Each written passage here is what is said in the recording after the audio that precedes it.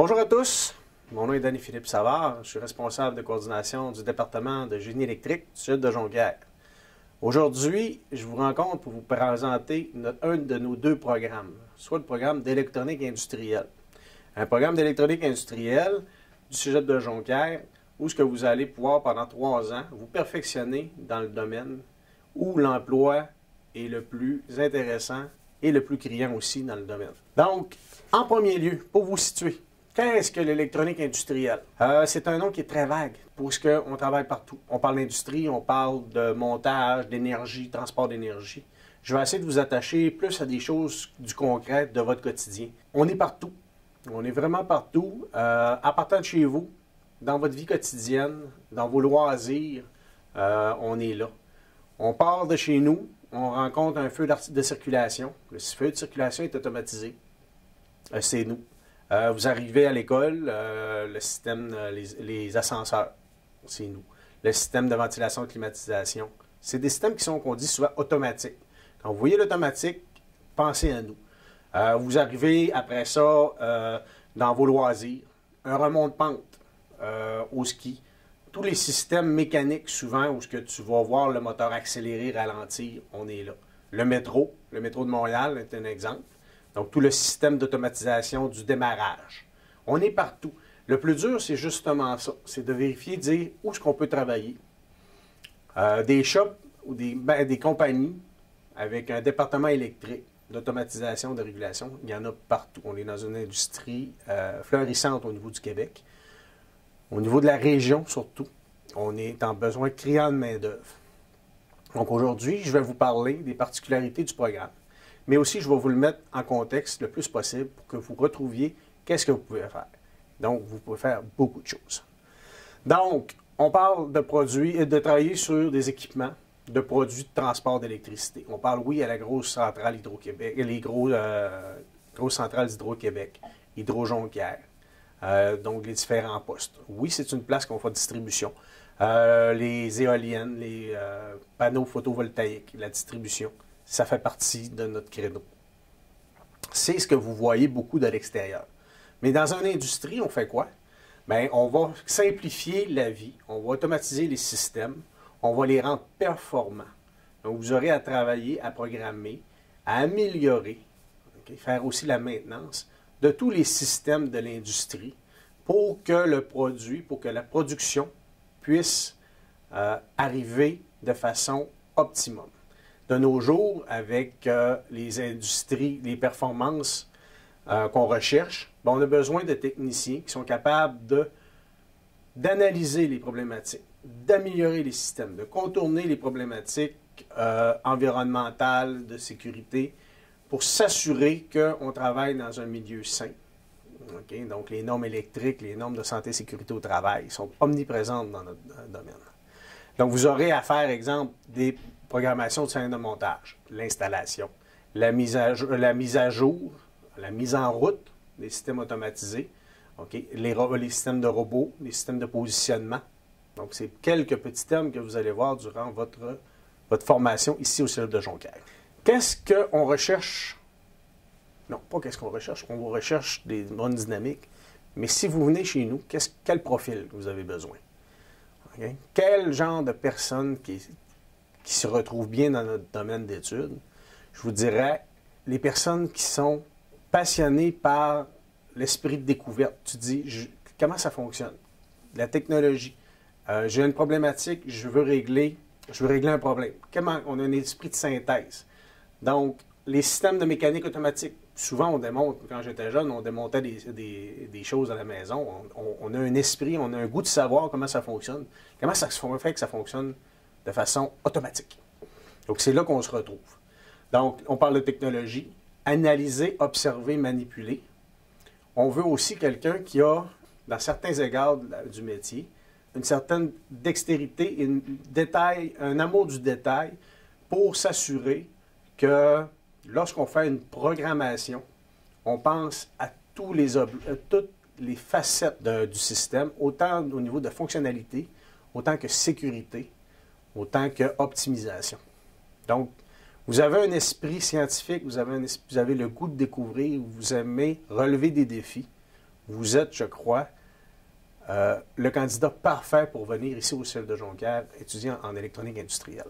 Les conditions particulières d'admission aux conseillers d'orientation peuvent vous les donner. Je l'ai ici sur euh, le PowerPoint. Je ne vous les énumérerai pas. Vous êtes capable de lire aussi bien que moi. Mais on a besoin de bases en mathématiques pour travailler dans les principes euh, physiques et électriques de notre programme. Étudier au CEP de Jonquière, c'est quoi? C'est un programme qui fait partie d'un département où il y a deux programmes, donc électronique et électronique industrielle. Vous aurez la chance en première année de faire ce qu'on appelle en termes techniques un tronc commun. Vous aurez les mêmes cours que les étudiants en électronique. Vous allez pouvoir les côtoyer. Vous allez pouvoir aussi prendre un an pour valider votre choix au niveau de votre orientation de carrière. Oui, ça m'intéresse. Oui, on y va. On va valider vos choix. On va vous informer comme il faut maintenant parce que ici, j'ai une capsule d'à peu près de 25 minutes pour vous parler d'un monde euh, extraordinaire et immense de l'électronique industrielle, mais vous aurez un an pour valider vos choix, prendre les bonnes informations et euh, valider votre cheminement. L'avantage, si après un an, vous décidez que oui, effectivement, l'électronique, industrielle, le domaine m'intéresse, mais je serais penché plus vers le domaine des télécommunications et des réseaux, bien, vous n'aurez pas perdu un an d'études pour dire, ben là, je dois me réorienter. Vous aurez qu'à faire un changement de programme et vos cours sont déjà faits. Donc, vous, sauvez, vous aurez cette possibilité-là. C'est une exclusivité du Cégep de Jonquière ici, au Saguenay-Lac-Saint-Jean. Euh, vous avez le choix, vous avez le temps de valider vos choix et euh, de confirmer vos intérêts pour le domaine. D'autres particularités euh, du programme, pas du programme, je vais l'appeler le département, puisque c'est un ensemble de laboratoires de professeurs. On travaille beaucoup sur des projets qui sont analogues au système, au marché du travail. On a un gros partenariat avec l'entreprise pour nous fournir des équipements, fournir euh, du matériel que vous allez retrouver lors du marché du travail. Donc, vous n'aurez pas nécessairement à travailler avec des, projets euh, pédagogiques, mais vraiment des projets pédagogiques industriels avec de l'équipement sur le marché. Donc, vous allez retrouver que donc, vous allez sur le marché du travail, vous allez reconnaître les, éléments de boucle de régulation euh, en termes techniques, puis vous allez savoir comment ça fonctionne, puis de quoi qu'on parle. Vous avez une expérience, je ne peux pas dire de terrain, mais au moins une expérience euh, au niveau de l'équipement manufacturier disponible sur le marché du travail. Donc, on fait aussi beaucoup de visites industrielles avec nos partenaires encore là. Nous avons la chance de visiter des postes euh, de distribution, des, compagnies de production euh, de, de, bois, d'aluminium, différentes autres entreprises. nous avons aussi en exclusivité un site d'éoliennes. Si vous la voyez tous les jours sur, sur l'autoroute, près du cégep, ben ça fait partie, c'est un laboratoire du Cégep de Jonquière. Au niveau des énergies renouvelables, les différentes technologies vertes euh, sont dans le cœur aussi de notre programme lorsque on vous l'enseigne. Nos laboratoires euh, sont, en continu, euh, sont continuellement en évolution. Nous travaillons pour mettre à jour en fonction de nos informations que nous avons du marché du travail, parce qu'à chaque année, vous avez un stage je prends une avance là-dessus. Mais en stage, euh, les étudiants euh, nous rapportent aussi les nouvelles technologies, les nouvelles façons de faire. Les professeurs rencontrent le milieu du travail pour aussi valider nos équipements, nos méthodes pédagogiques et nos approches pédagogiques. Donc, nous sommes en, constante évolution pour s'assurer d'être le plus collé possible sur le marché du travail. Milieu du travail, montage électronique, robotique et automatisation. Donc, c'est les, le nerf euh, du programme, l'automatisation, la régulation de procédés. Qu'est-ce que l'automatisation? C'est facile. On dit l'automatique, automatisation, les systèmes qui fonctionnent de façon euh, autonome, avec très peu d'intervention humaine, pour permettre de simplifier la vie de l'ouvrier. Donc, vous aiderez là-dedans. La régulation, elle, est peut-être un côté qui est plus difficile à percevoir. Je vous donne un exemple. Souvent, un bain. Vous prenez un bain avec un certain niveau d'eau, ou je vais prendre plutôt un spa. Un spa, c'est plus facile. Il y a plus de personnes qui peuvent rentrer dans un spa. Qu'est-ce qui se passe quand euh, vous rentrez dans un spa, on a un certain niveau d'eau, il rentre 3-4 autres personnes, on se rend compte à un moment donné que le niveau d'eau approche à un seuil où ce qui dit ça va déborder. Si on avait un système qui pourrait euh, s'assurer que le niveau d'eau reste toujours, exemple, à 80 cm d'eau dans le spa. Que ce soit une personne, que ce soit 5 personnes ou 6 personnes, le système est capable d'évaluer et le besoin de ce 80 cm d'eau est toujours respecté. J'aurai un réservoir de, de, retenue à quelque part. Et si je descends, ben, je pourrais prendre l'eau, la rapporter dans le spa pour qu'on ne soit pas à découvert lorsqu'on prend un spa tout seul. Et de l'autre façon, quand il y a plusieurs personnes, qu'on ne soit pas à la limite du débordement. C'est une façon de réguler un système. Donc, c'est l'approche régulation. Régulation aussi, régulation de vitesse de moteur. Donc, un moteur électrique qui accélère, bien, la notion d'accélérer, ben, c'est pas naturel un, un moteur électrique. Un moteur électrique, c'est on, off, ça fonctionne pleine vitesse ou pas. Mais maintenant, la régulation, ça permet aussi de prendre des équipements pour être capable de faire accélérer un moteur. Donc, on se voit, les moteurs, toutes les voitures électriques, ben, les systèmes d'accélération, ben, c'est touché dans le domaine de la régulation. Un moteur électrique, on le branche. Ça tourne, si on branche un moteur euh, euh, normal, il tourne, il ne tourne que d'un sens. Si on veut faire, le faire changer de sens, bien, il faut être capable de lui fournir le signal. On travaille dans ce domaine-là aussi. Donc, toutes ces approches-là, c'est des notions que vous allez voir dans le domaine du génie électrique au niveau de l'électronique industrielle.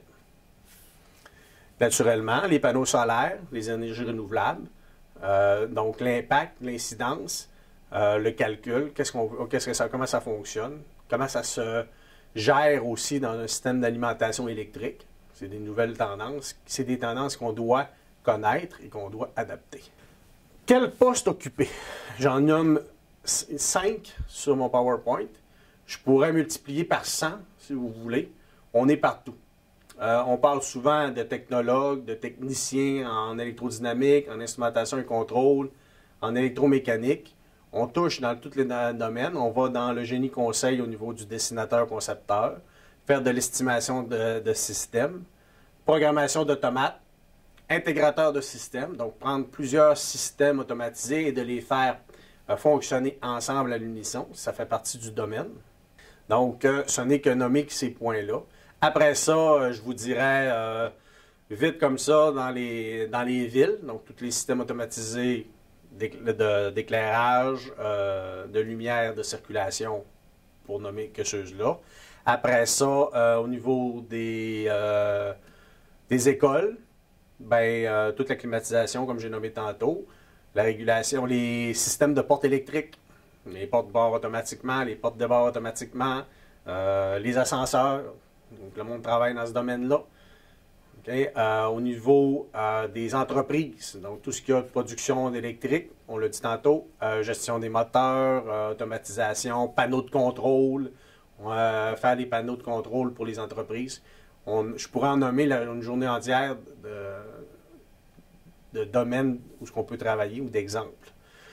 On est partout, c'est le plaisir et c'est l'inconvénient de l'autre bord en, disant qu'est-ce que vous faites? On fait un peu de tout.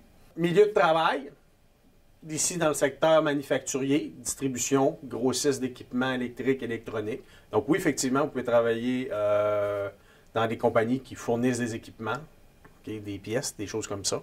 Des entreprises de transformation, on pense ici rapidement aux scieries, aux alumineries, les, pâtes et papiers, pour nommer ceux-là, et tous les sous-traitants qui travaillent pour ces, euh, compagnies-là dans le secteur. Euh, les nouvelles compagnies en émergence aussi qui vont faire des des systèmes pour l'outre-mer. On travaille beaucoup avec euh. On va beaucoup en Europe pour faire de la production, la livraison de systèmes dédiés aux entreprises là-bas. Donc, on est très polyvalent. donc, naturellement, distribution électrique, donc sur le, réseau. Pensez à Hydro-Québec, mais aussi à toutes les compagnies qui ont le système de distribution secondaire qu'on doit travailler dans ce domaine-là. Hydro-Québec fournisse, mais rendu sur un plan, sur, une usine, ben vous aurez à distribuer aussi dans le système, dans les différents plans de travail, euh, l'électricité, les choses comme ça, c'est dans votre domaine. Centre de recherche, naturellement, vous pouvez travailler en concordance avec les chercheurs, avec les ingénieurs pour travailler sur des nouveaux produits, des nouvelles euh, technologies ou des nouvelles approches euh, au niveau électrique. Les centrales électriques, vous pouvez travailler là-dedans. Ici au Québec, on parle de barrage hydroélectrique. Et lorsque c'est le temps de la distribution, qu'il soit photovoltaïque, éolienne, nucléaire ou quoi que ce soit, mais on distribue l'électricité. Secteur public, donc euh, au niveau des, euh, des cégeps, on a besoin euh, de techniciens travailler dans les différentes facettes qui nous rendent la vie facile au niveau des études, de nos études, pardon. les systèmes de gestion d'éclairage, des gestions d'énergie, donc la nouvelle approche d'économie d'énergie. On est à les deux pieds là-dedans, si vous me permettez l'expression, pour optimiser, réduire les frais, faire de l'ingénieur conseil, naturellement travailler avec euh, les ingénieurs, travailler sur les projets aussi, donc en, sous-traitance pour les entreprises. On est partout, partout dans les, euh, hôpitaux. Euh, ils font, il y en a dans tous les services publics. On parle actuellement d'un salaire moyen entre 25 et 26 et 31 avec un taux de placement de 96 mon 4% souvent, c'est euh, mes, euh, euh, finissants qui sont à l'université. Puisque l'université est une autre porte de sortie qu'on oublie, avec votre DEC de 3 ans. Il y a un temps où on devait faire des cours supplémentaires pour pouvoir aller à l'université, pour aller faire vos cours d'ingénieur. Maintenant, les, les universités vont accepter sans condition les finissants d'un DEC en électronique industrielle pour poursuivre pour un baccalauréat en génie électrique. Donc, c'est une autre porte de sortie. C'est même 4% puisque je vous dirais que le taux de placement en ce moment est à 100% et même plus. On, a des, on est sollicité par les entreprises euh, du Québec à la grandeur pour avoir des finissants, puisque le domaine est, euh, je ne veux pas dire émergent, puisqu'il fait longtemps qu'il existe. Il est toujours en évolution et on est euh, dans un domaine où ce que la main-d'œuvre est euh, appréciée, recherchée, surtout ici au Cégep de Jonquière. Euh, autre chose qui euh, caractérise ici au Cégep de Jonquière, vous étudiez dans un, pavillon technique. C'est encore une exclusivité ici au Saint-Saint-Jean, vous ne trouverez pas ça ailleurs. Vous vous faites partie d'un pavillon technique où on retrouve toutes les techniques physiques chimique, mécanique, euh, environnement, euh, hygiène, santé, sécurité du travail, électronique, génie industriel, physique, donc mécanique du bâtiment pour nommer, pour les j'en ai oublié quelques-uns. Mais vous travaillez dans une communauté, vous étudiez dans une communauté d'étudiants du domaine physique. Ça permet de créer des liens, ça permet de créer des projets, des opportunités pour travailler avec euh, euh, des, des, confrères et des consoeurs qui étudient dans d'autres domaines d'études pour travailler sur euh, des projets particuliers. Même à l'AVEC proche, on a aussi un centre de production automatisé qui prend des stagiaires dans le domaine électrique pour travailler sur des projets de recherche ou des projets d'entreprise, des PME, qui ont besoin de faire des projets avec des subventions. Donc, il y a beaucoup de, il y a une synergie au pavillon euh, des techniques physiques que vous ne retrouverez nulle part ailleurs au Sénégal-Saint-Jean. C'est une chose qui permet à des étudiants d'évoluer dans un milieu euh, presque industriel pour euh, permettre, comment je pourrais le nommer, que ce soit clair, ça permet de donner une vision d'entreprise ou d'usine qui n'est pas disponible dans le. qui est, nature, qui est normalement pas disponible euh, au niveau de l'éducation. Euh, nous avons des clubs, de, pour nommer le club Terre au niveau des énergies renouvelables, que vous pouvez participer. Différents clubs au niveau du cégep au complet. Euh, des clubs sportifs, qu'on a plusieurs athlètes dans notre programme. nous offrons aussi un stage, un stage en fin d'études qui ouvre la porte au marché du euh, de l'emploi. En ce moment, c'est un stage qui est non rémunéré, mais les étudiants sont tellement appréciés et recherchés souvent qu'ils sont presque engagés et salariés en rentrant comme stagiaires. et euh, ils poursuivent à 90% dans l'usine ou dans, le milieu de travail où ils font le stage. Donc, euh, ça nous permet aussi de créer des liens futurs avec vous pour le développement euh, des équipements industriels, des nouvelles technologies. Donc, c'est toute cette synergie-là qu'on retrouve au Cégep de Jonquière, toutes ces approches multidisciplinaires ces partenariats-là qui font euh, qui vous offrent une, euh, opportunité d'apprentissage valorisante et intéressante. Je vous invite à, vous inscrire sur le SRACEL, euh, de venir sur le site du CIE de Jonquière pour visiter virtuellement notre département. Vous avez une présentation disponible. Vous avez des questions, vous pouvez toujours communiquer directement avec le cégep de Jonquière. Pas obligé de passer par euh, l'école. On est ouvert, on a un, système de, service de communication efficace et proactif pour permettre de répondre efficacement à vos questions. Donc, merci. Euh, ça fait euh, le tour du département du programme d'électronique industrielle du de Jonquière. Ah, c'est vrai, c'est vrai. Nouveauté. J'ai pas fini. Que j'ai pas. J'ai pas sur mon PowerPoint nouveau programme 2021 d'électronique euh, industrielle qui s'appelle Automatisation et régulation. Je vous offre une primeur, même avant la fin.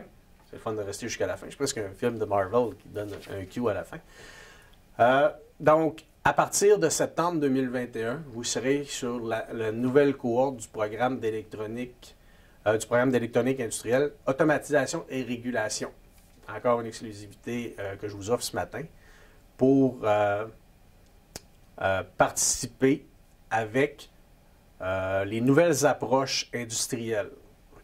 Euh, l'industrie 4.0, la robotisation, la sécurisation des machines. On avait intégré toutes ces technologies-là, mais maintenant, avec le nouveau programme, nous travaillons de concert avec l'avenir du domaine pour mettre à jour toutes nos nouvelles compétences. Donc, venez nous voir. On vous attend. Merci encore.